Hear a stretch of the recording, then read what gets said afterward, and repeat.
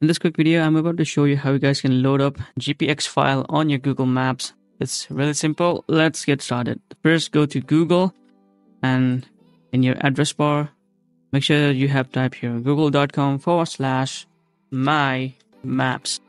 So I will trim this out if you have uh, trouble looking to this. So click here and hit an enter and you will see this interface. So simply click here on create a new map and after that you will have the option to import the file. You can import file by clicking this browse icon.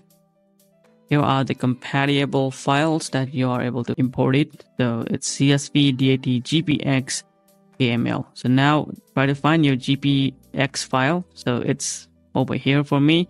So this is a gpx file. As you guys can see that. Now open this file and it will load up all the layers. Now you can rename this. I will rename this like let's say 30 kilometer ride and save.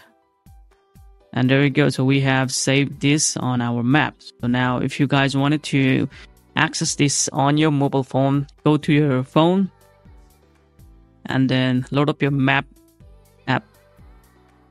and then go to save over here. Scroll down until you find maps over there. Okay click that map icon and here is 30 kilometer ride that we have just saved.